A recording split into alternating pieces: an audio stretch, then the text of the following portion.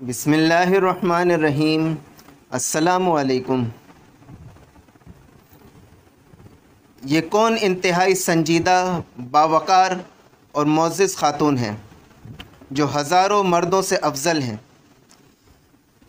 ये कौन शेरदिल बहादुर सहाबियाँ हैं, जिन्होंने इस्लाम में सबसे पहले किसी मुशरक को कत्ल किया? ये कौन अक्लमंद ख़ातून हैं जिनके हाथों उस अव्वलिन शहसवार की नशोनुमा हुई, जिसने अल्लाह की राह में अपनी तलवार को बेनयाम किया। ये है रसूलुल्लाह सल्लल्लाहु अलैहि वसल्लम की फुप्पी, बीबी सफ़िया बिनते अब्दुल मुतल्लिब रदी अल्लाह अनहा। बुज़ुर्गी और शर्फ ने हर तरफ़ से उनका इहाता कर रखा था। उनके वालिद थे नबी अकरम सल्लल्लाहु अलैहि वसल्लम के दादा मोहतरम, कुरैश के बड़े और उसके हर दिल अज़ीज़ सरदार अब्दुल मुतल्लिब बिन हाशिम।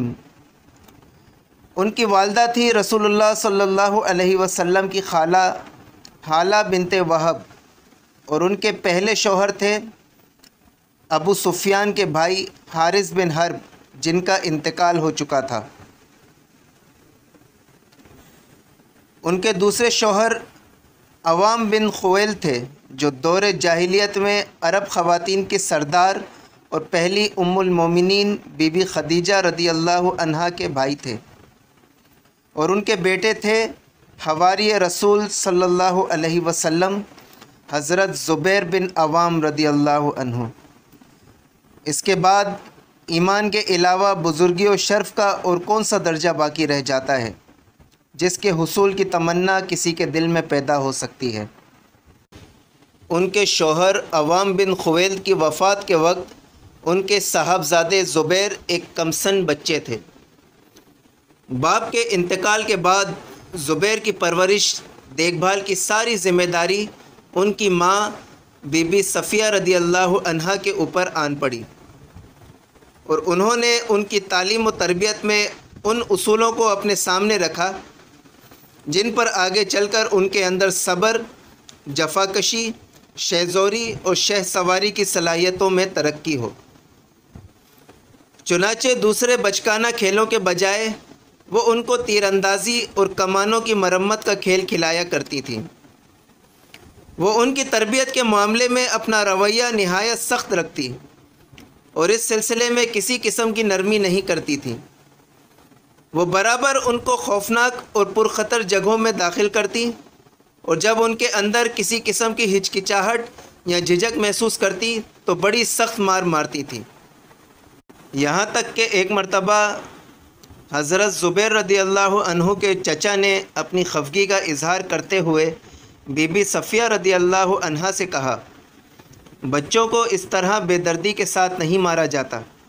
तुम तो बच्चे को इस तरह मारती हो जिससे माँ की ममता और प्यार के बजाय गैज़ गज़ब का इजहार होता है। लेकिन उन्होंने इस एहतजाज को रद्द करते हुए कहा, जिसने कहा कि मैं इसके ऊपर अपने गुस्से का इजहार करती हूँ, उसने गलत कहा। मैं तो इसे सिर्फ़ इसलिए मारती हूँ कि ये चालाक और होशियार हो जाए और लश्कर को शिकस्त देकर माल गनीमत के साथ वापस आए। जब अल्लाह ताला ने अपने नबी को दीन हक को हिदायत देकर मबूस फरमाया, हुजूर सल्लल्लाहु अलैहि वसल्लम को लोगों के लिए बशीर व नज़ीर बनाकर भेजा और आप सल्लल्लाहु अलैहि वसल्लम को अपने आज़ा अकरबा से अपनी दावती सरगर्मियों का आगाज़ करने का हुक्म दिया। तो आप सल्लल्लाहु अलैहि वसल्लम ने बनी अब्दुल मुतल्लिब के सारे मर्दों, औरतों बड़ों और छोटों को जमा करके उनसे ख़िताब करते हुए फ़रमाया ए फ़ातिमा बिनते मोहम्मद ए सफ़िया बिनते अब्दुल मुतल्लिब ए आले अब्दुल मुतल्लिब मैं अल्लाह ताला के सामने तुम्हारे किसी काम नहीं आऊँगा।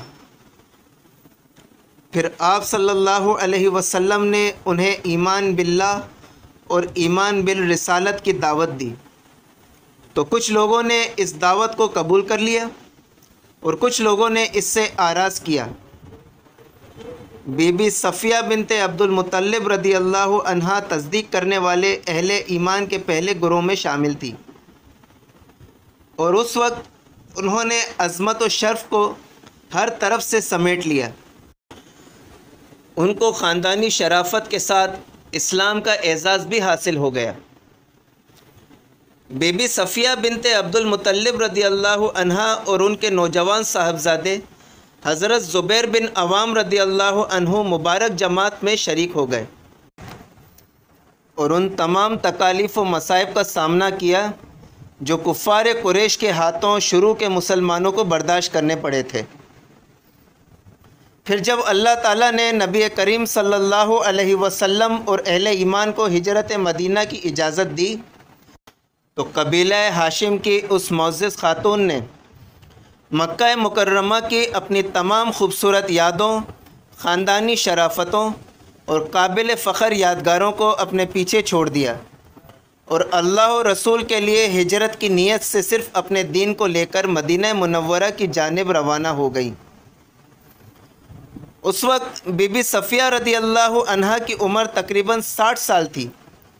लेकिन इसके बावजूद उन्होंने जिहाद के मुख्तलिफ़ मैदानों में ऐसे ऐसे अजीम शान कारनामे अंजाम दिए, जिनका ज़िक्र इस्लामी तारीख़ हमेशा हैरत के साथ करती रहेगी और उनकी तारीफ़ हमारे मौरखीन बराबर करते रहेंगे। हमारे लिए यहाँ उनमें से सिर्फ़ दो कारनामों का ज़िक्र काफ़ी है। पहले का ताल्लुक़ गजवा अहद और दूसरे का ताल्लुक़ गजवा खंदक से है। गजवा अहद के मौके पर बीबी सफ़िया रदी अल्लाह मुसलमान ख़वातीन की एक टोली में शामिल होकर मुजाहिदीन के लश्कर के साथ जिहाद फ़ी सबील्ला के लिए निकली। इस मौके पर वो प्यासों को पानी पिलाने के अलावा तीरों की दुरुस्ती और कमानों की असलाह व मरम्मत की खदमात भी अंजाम दे रही थी। इसके अलावा उनका एक ख़ास मकसद ये भी था कि वो तमाम जंगी कार्रवाइयों का अपनी आँखों से ख़ुद मुशाहिदा कर सकें। और इसमें ताजुब की कोई गुंजाइश इसलिए नहीं है कि ख़ुद उनके भतीजे हज़रत मोहम्मद सल्लल्लाहु अलैहि वसल्लम, उनके भाई हमज़ा बिन अब्दुल मुतल्लिब और बेटे ज़ुबैर बिन अवाम भी इस जंग में शरीक थे। और इन तमाम बातों से बढ़कर और हर चीज़ से पहले इस जंग से इस इस्लाम का मुस्तबिल वाबस्ता था, जिसको उन्होंने अपनी खुशी से कबूल किया था। जब उन्होंने देखा कि एक कलील तादाद के अलावा सारे मुसलमान रसूलुल्लाह सल्लल्लाहु अलैहि वसल्लम को मैदान जंग में तनहा छोड़कर मुंतशिर हो गए और करीब था कि मुशरकिन रसूलुल्लाह सल्लल्लाहु अलैहि वसल्लम तक पहुंचकर आप सल्लल्लाहु अलैहि वसल्लम को कोई नुकसान पहुँचा दें। तो उन्होंने अपना मशकीज़ा ज़मीन पर फेंक दिया और इस बिपरी हुई शेरनी की तरह झपट पड़ी, जिसके बच्चों पर हमला कर दिया गया हो। उन्होंने एक भागते हुए मुसलमान के हाथ से उसका नेज़ा छीना और दुश्मन की सफ़ों को चीरती, नेज़े से हमला करती और गरज कर ये कहती हुई आगे बढ़ी, तुम्हारा बुरा हो, क्या तुम लोग रसूलुल्लाह को छोड़कर भागे जा रहे हो? जब रसूलुल्लाह सल्लल्लाहु अलैहि वसल्लम ने उन्हें आगे बढ़ते देखा तो आप सल्लल्लाहु अलैहि वसल्लम को इस बात का अंदेशा लाक हुआ कि कहीं उनकी निगाहें अपने भाई हज़रत हमज़ा बिन अब्दुल की लाश पर ना पड़ जाएँ, जो ज़मीन पर पड़ी हुई थी और मुशरकिन ने मुसला करके उनकी शक्ल बुरी तरह बिगाड़ दी थी।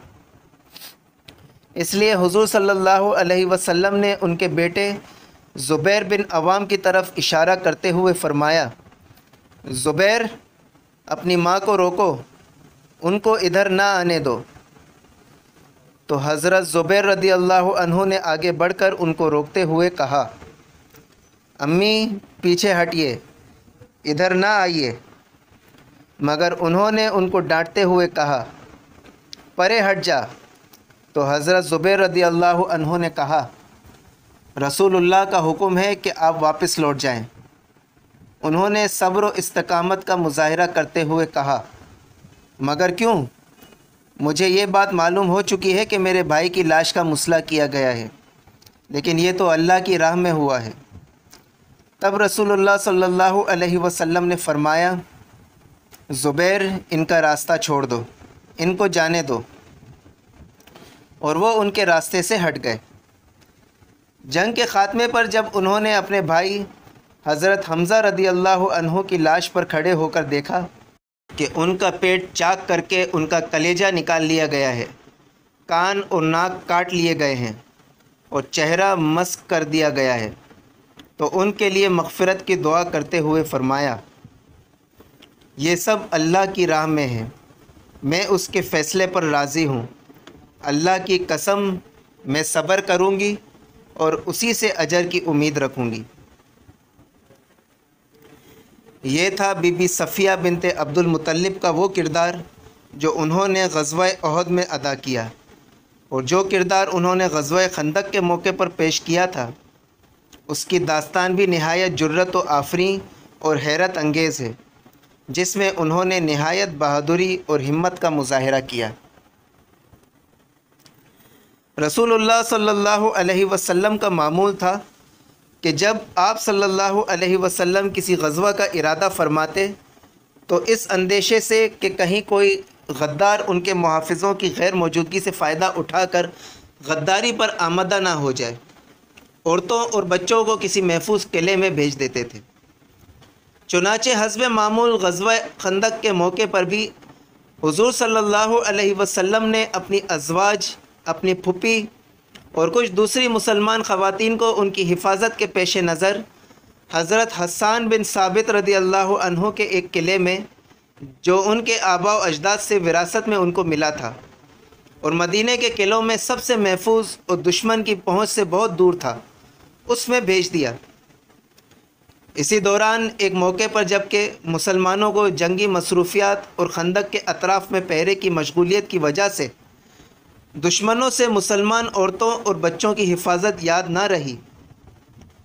बीबी सफ़िया रदी अल्लाह अनहा रात के अंधेरे में क्या देखती हैं कि किले के नज़दीक एक साया मुतहरक है और उन्होंने किसी के पाँव की आहट भी सुनी।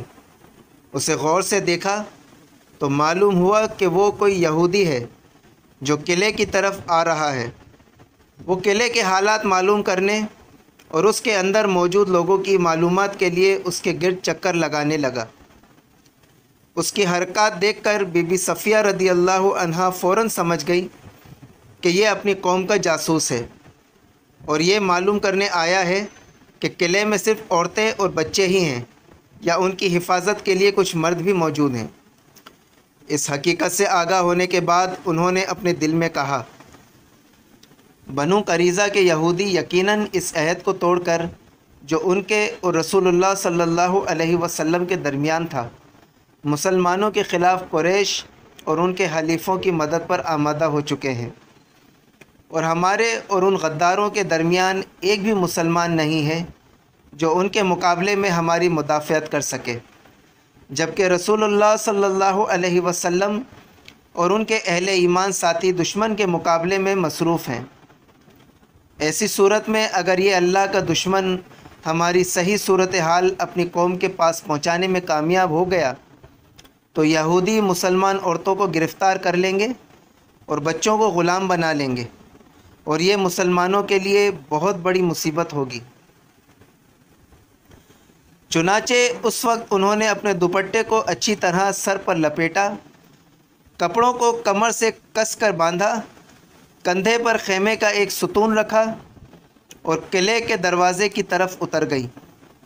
फिर नहायत आहिस्तगी और पूरी एहतियात के साथ उसे खोला और होशियारी के साथ दरवाज़े के शगाफ से उसका इंतज़ार करने लगी। जब वो ऐसी जगह पहुँचा जहाँ उनके लिए उस पर काबू पा लेने का पुख्ता यकीन हो गया तो उन्होंने पूरी होशियारी के साथ उस पर हमला किया। और उसके ऊपर सुतून से एक भरपूर वार करके उसे ज़मीन बोस कर दिया। फिर उन्होंने यके बाद दिगरे मुसलसल कई ज़रबे लगाकर उसे ठंडा कर दिया। फिर खंजर निकालकर उसके सर को तन से जुदा किया और उसे बुलंदी से नीचे फेंक दिया, जो किले के दामन में लुढ़कता हुआ उन यहूदियों के सामने जाकर रुक गया, जो नीचे उसका इंतज़ार कर रहे थे। यहूदियों ने जब अपने आदमी के सर को देखा तो खौफजदा होकर आपस में कहने लगे, हमें मालूम है कि मोहम्मद औरतों को और बच्चों को तनहा नहीं छोड़ा करते, यानी मर्दों की एक जमात भी हिफाजत के लिए होती है इसलिए हमारी बेहतरी इसी में है कि हम फ़ौर इधर से चले जाएँ।